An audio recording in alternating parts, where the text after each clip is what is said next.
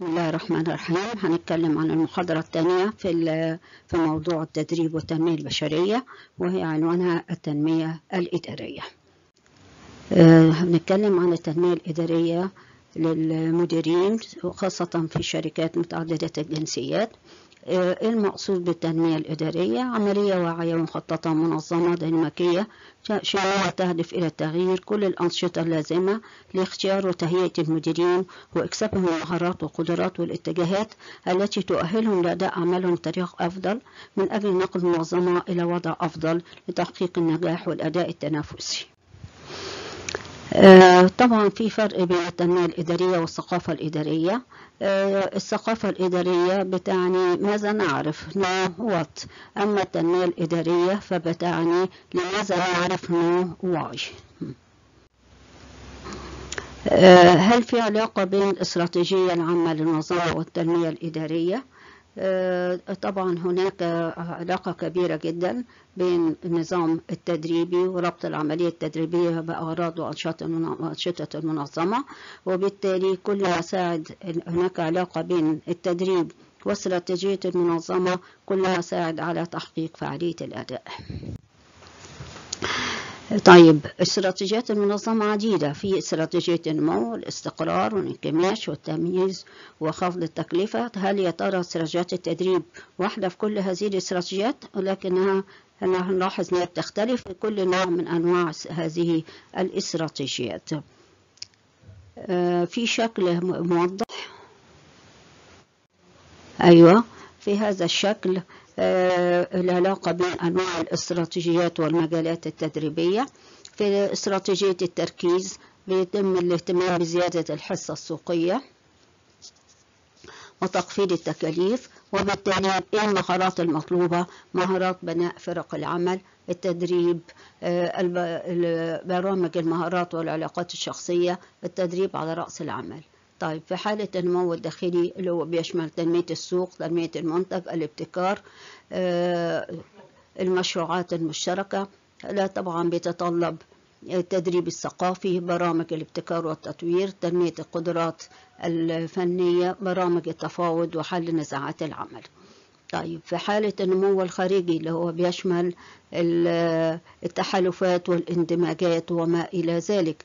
طيب هنا بيتم الاهتمام الاهتمام بفرق العمل الاهتمام بدراسة الثقافات البلاد المتغيرة وإلى آخره.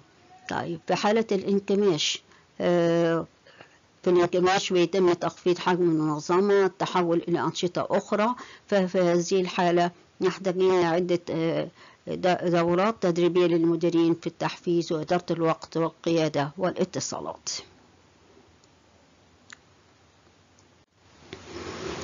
فهنا الشكل ده أيضا بيوضح العلاقة بين رسالة المنظمة وأهدافها وأستراتيجيتها الأداء الحالي الأداء المرغوب الفجوة التدريبية وبالتالي ما هي البرامج لسد هذه الفجوة التدريبية.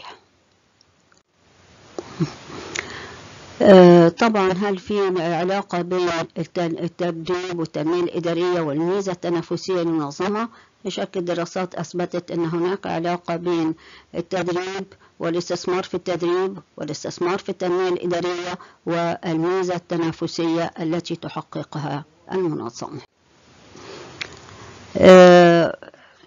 تعددت نماذج تعددت النماذج الخاصة بالتنمية الإدارية. هناخد يمكن نموذجين. نموذج يسمى نموذج التفاعلي للتنمية الإدارية. وبيركز هذا النموذج على التفاعل بين خصائص تطوير الأفراد وخصائص المنظمة وبالتالي النتائج المطلوبة للأفراد والنتائج المطلوبة للمنظمة.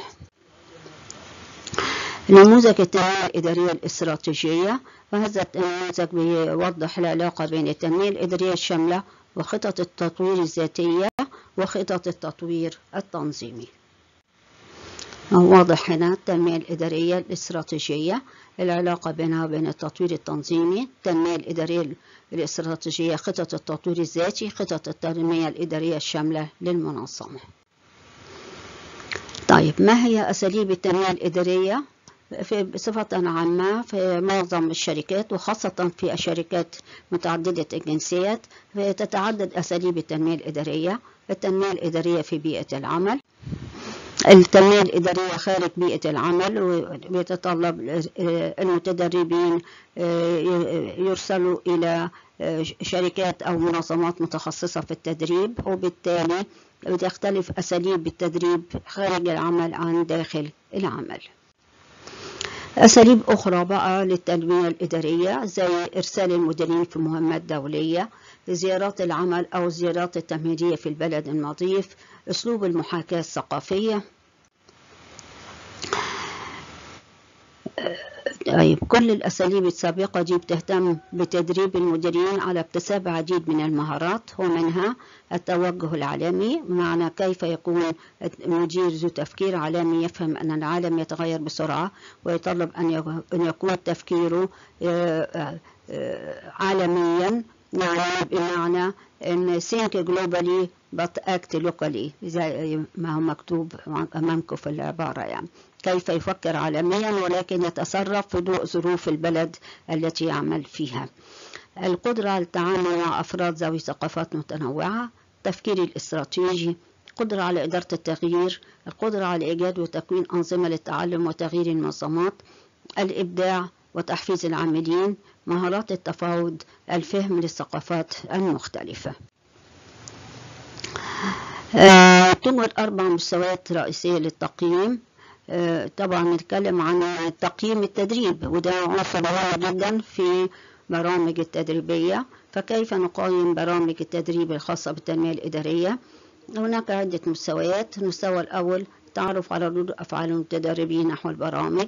المستوى الثاني قياس ما اكتسبه المتدرب من معارف ومهارات باستخدام الاختبارات قبل وبعد البرنامج المستوى الثالث التعرف على تأثير التدريب على سلوك المتدرب بعد عودته للعمل لمعرفة مدى التقدم في العمل. قياس المستوى الرابع قياس نتائج الأداء التنظيمي ويستدل عليه من خلال العديد من المؤشرات الكمية والنوعية. أشكركم والسلام عليكم ورحمة الله وبركاته.